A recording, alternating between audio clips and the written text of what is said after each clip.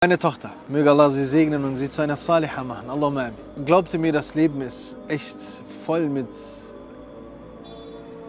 Situationen und Momenten im Leben, wo du immer denkst, jetzt weiß ich alles und dann lernst du noch mehr dazu.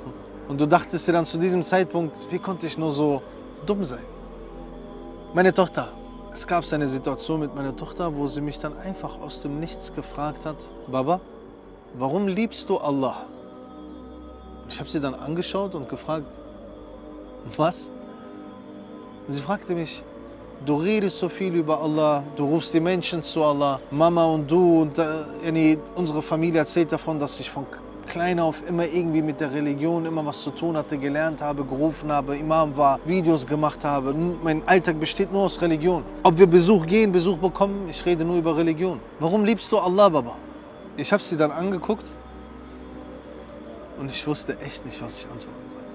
Aber ohne Antwort geht es auch nicht. Also habe ich gesagt, ich liebe Allah, weil ich gesund bin. Ich liebe Allah, weil ich sehen kann. Ich liebe Allah, weil ich dich habe, weil wir Essen haben. Dann hat sie gesagt, nur deswegen, Baba? Ich habe gesagt, wieso, was meinst du denn? Liebst du Allah nur, wenn er dir etwas gibt?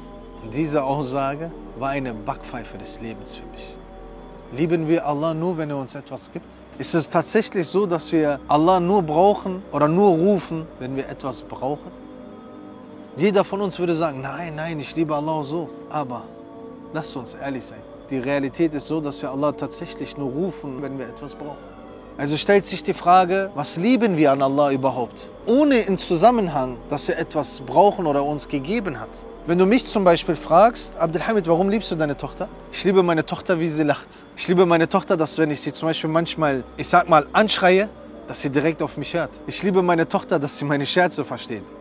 Ich liebe meine Tochter, dass sie so süß ist, dass sie so gut erzogen ist, dass sie das angenommen hat, dass sie aufpasst, was sie sagt. Ich liebe meine Tochter, wie sie ist. Ich liebe meine Tochter, wenn sie niest. Wenn sie niest, dann, dann das sieht einfach zu süß aus. Wenn man mich fragt, warum liebst du deine Mutter? Ich liebe meine Mutter, dass sie immer für mich da ist. Ich liebe meine Mutter, dass sie uns Respekt beigebracht hat. Warum liebst du deinen Vater? Ich liebe meinen Vater, dass er sich aufgeopfert hat für uns. Ich liebe meinen Vater dafür, dass er mich gut großgezogen hat. Ich liebe meinen Vater, dass er immer ein gutes Wort gibt. Abdelhamid, warum liebst du deine Frau? Ich liebe meine Frau, dass sie immer ein offenes Ohr für mich hat. Immer wenn ich Probleme habe, kann ich damit rechnen, dass sie da ist. Ich liebe meine Frau, dass sie gute Worte sucht, dass sie ihre Religion praktiziert. Ich liebe meine Frau, dass Sie ist zwar die Einzige, die mich auf 180 bringen kann, aber auch die Einzige, die mich genauso schnell wieder runterbringen kann. Aber wenn du mich fragst, warum liebst du Allah, ohne dass er dir etwas gibt? Ich weiß es nicht. Bei Allah, ich weiß es nicht. Und das ist der Unterschied. Das ist der Unterschied. Der Mu'min, der Gläubige, der Iman ist in seinem Herzen reingegangen. Er hat verstanden, was La ilaha illallah bedeutet. Er hat verstanden, was Muhammad Rasulullah bedeutet. Er hat verstanden, was Tawhid bedeutet, wer Allah ist. Bei mir, ich kann sagen, ich bin ein Muslim, ein stolzer Muslim, aber der Iman hat nur mein Herz berührt. Beweis? Authentische Überlieferung. Eine Gruppe Sahaba gehen auf Reise. Ich meine, es war Abdurrahman ibn Auf, Wallahu alam, der jedes Mal vorbetete. Bei jedem Gebet rezitierte er Qul huwallahu ahad, Allahu samad, Surat al-Ikhlas. Den Sahaba war es zu viel, weil er es in jeder Rekka gelesen hat, in jedem Gebet tagelang. So gingen sie zum Propheten sallallahu wasallam nach der Reise und sie sagten, ja Rasulullah, Bilal Filan liest immer dieselbe Suche im Gebet vor. Dann hat er ihn gerufen und sagte, stimmt das? Er sagte, ja. Warum? Er sagte, ja Rasulullah, Wallahi, ich liebe diese Suche. Warum? Diese Suche bringt mir bei, wer Allah ist. Dann hat der Prophet sallallahu wasallam gesagt, du sollst wissen, Allah liebt dich auch. Was sagt uns Suratul Ikhlas? Kul huwallahu ahad. Sprich, Allah ist einer. Er hat Allah geliebt, weil er nur ein Einer ist. Ein einziger. Er hat Allah geliebt, dass er nicht zu niemandem ähnelt. Er hat Allah geliebt, dass er nicht erschaffen worden ist. Und das ist ein Mu'min. Er weiß, warum er Allah liebt. Und das ist auch der Grund, warum unser Iman so schwach ist. Unser Iman ist schwach. Man muss erstmal feststellen, was bedeutet Liebe? Was ist die Definition von Liebe? Für mich, ich glaube, da gibt es keine allgemeine Definition. Ich glaube, das ist tatsächlich von Menschen zu Mensch nicht. Das, das ist meine Auffassung. Ich glaube, die Definition von Liebe ist von Mensch zu Mensch verschieden. Für mich bedeutet das bedingungslos an jemanden festzuhalten, aus Angst, ihn zu verlieren. Das bedeutet für mich Liebe. Dass ich nichts von dieser Person brauche. Er soll nur bei mir sein, weil ich Angst habe, ohne diese Person zu sein. Das bedeutet für mich Liebe. Und deswegen ist es ja auch so, dass ich meine Tochter so sehr liebe. Sie braucht mir nichts geben. Ich will einfach nur, dass sie neben mir ist. Wisst ihr, was noch trauriger ist?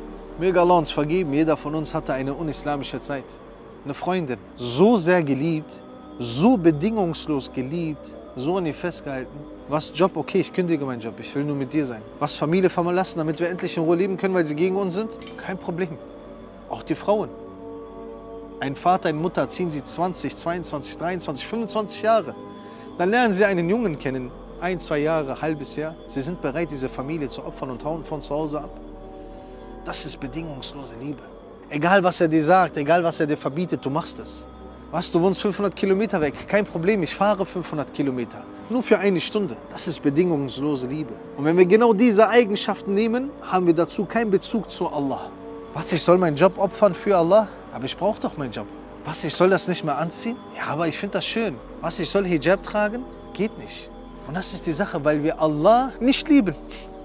Wir lieben Allah nicht. Wir sagen, die Zunge spricht es, aber das Herz tut es nicht. Beweis die Taten, haben wir gesagt. Du bist bereit, deine Familie aufzuopfern für einen Mann, den du gerade mal ein, ein, ein Jahr kennst. Du bist bereit, 500 Kilometer zu fahren, zu schwänzen, äh, zu, krank zu schreiben, zu kündigen, alles zu machen. Nur um ihr zu gefallen, nur mit ihr zu sein oder mit ihm zu sein.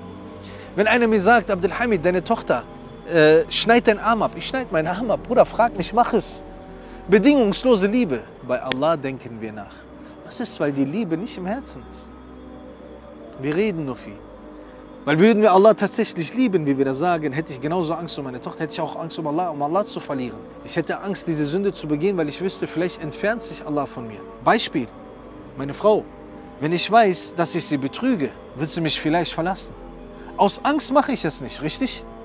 Und genau dasselbe ist in Bezug auf Allah. Würde ich Allah wirklich lieben, würde ich diese Sünde nicht machen, weil ich Angst hätte, dass Allah mich verlässt. Weil was haben wir am Anfang gesagt? Unsere Liebe zu Allah ist nur verknüpft mit Geben.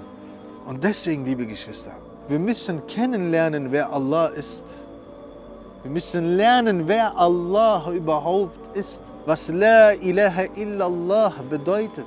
La ilaha illallah bedeutet, es gibt keinen anbetungswürdigen Gott, den man mit Wahrheit aufrichtig anbeten kann, außer Allah, der anbetungswürdige selbst.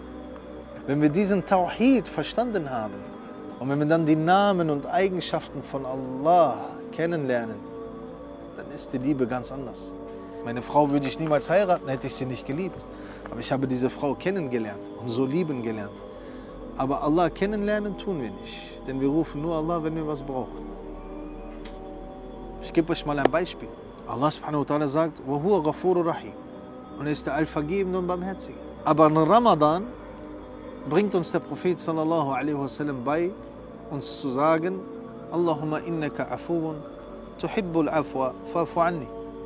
Oh Allah, du bist der Allvergebende, du liebst es zu vergeben, so vergebe mir. Al-Ghafur, Al-Afu, beide sind Vergebung. Was ist der Unterschied? Al-Ghafur bedeutet, dass Allah dir vielleicht vergeben wird. Aber die Sünde steht immer noch im Buch. Afu bedeutet, als hättest du die Sünde niemals gemacht.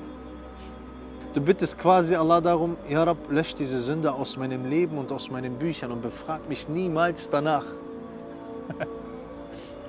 und so lernen wir zum Beispiel einen Namen kennen. Und das ist nur ein Name, den wir gerade auf die Schnelle erklärt haben. Al-Afu, wenn ich das in Ramadan nun bitte und sage, Ja Allah, Allahumma innaka afuun, tuhibbul afwa fa'fu anni. Oh Allah, du bist vergeben, bitte ich, ich weiß gerade, um was ich bitte. Ich bitte darum, dass das gelöscht wird aus meinem Buch. Das ist eine ganz, ein ganz anderes Feeling im Bittgebet. Ein ganz anderes Gefühl in der Brust, im Herzen. Wenn ich weiß, warum ich Ramadan faste. Warum will das Allah? Weil so lerne ich Allah kennen. Warum will Allah von mir, dass ich faste? Allah will uns im Ramadan beibringen, mein Diener, 30 Tage kannst du verzichten auf Brot und Wasser. Wegen mir, nur für mich. Nach Ramadan kannst du erst recht auf Alkohol und anderes verzichten. Und du siehst ja auch zum Beispiel Raucher, Kettenraucher. 17, 18 Stunden rauchen sie nicht. Sobald Iftar ist, rauchen sie wieder. Menschen, die nicht beten. Auf einmal siehst du sie in Tarawih. Sie beten etwas Freiwilliges, was sie noch nicht mal machen müssen, stundenlang. Allah will uns beibringen, mein Diener, du kannst, wenn du willst. Du kannst ohne Halal. Dann kannst du nach Ramadan erst recht ohne Haram. Nur du willst nicht. Und so lernen wir Allah kennen. Die Namen, seine Eigenschaften, seine Gebote, seine Verbote kennenlernen. Und so lernen wir Allah lieben. So lernen wir Allah lieben.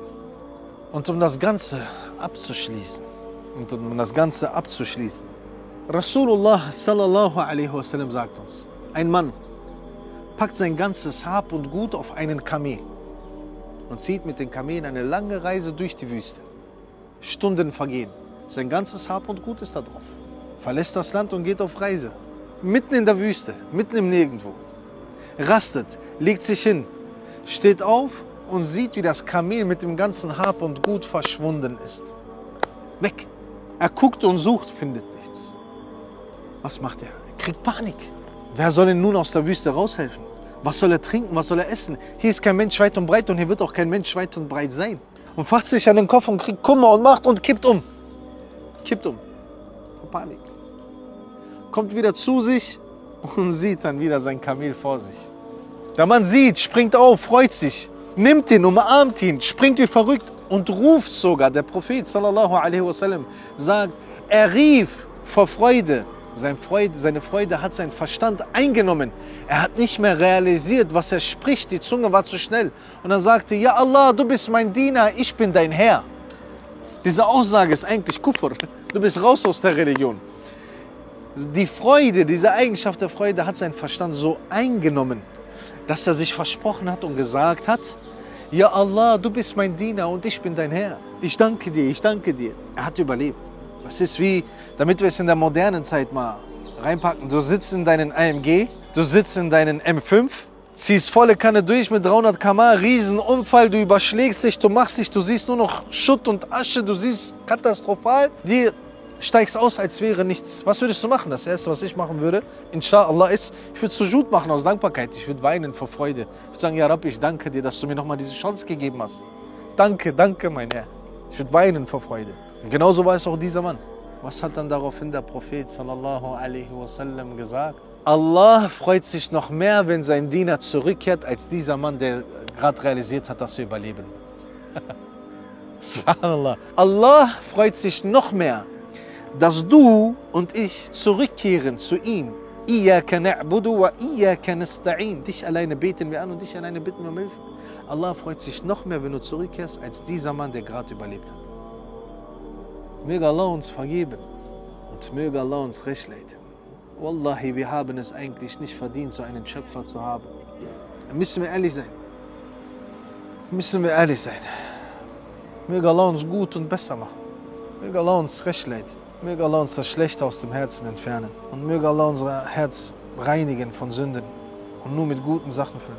Möge Allah uns das Gute leicht erreichbar machen. Möge Allah uns nur mit guten, rechtschaffenen Menschen zusammenbringen. Möge Allah uns den, die restliche Zeit, die wir auf dieser Dunya verbringen, im Guten verbringen lassen. Möge Allah subhanahu wa uns mit Barmherzigkeit entgegenkommen. Wie der Prophet sallallahu alaihi wasallam sagte, dass Allah subhanahu wa sprach in einem Hadith Qudsi, wenn mein Diener sich freut, sich mit mir zu treffen, so freue ich mich auch. Und wenn mein Diener es verabscheut, sich mit mir zu treffen, so verabscheue ich es auch. Allah uns ein gutes Ende geben. Wallahi, ich freue mich, meinen Herrn wiederzutreffen. Ich freue mich, meinen Herrn zu treffen und zu sagen, Ja Rab, es war hart, aber nun habe ich Gewissheit. Möge Allah uns Erfolg geben. Assalamu alaikum.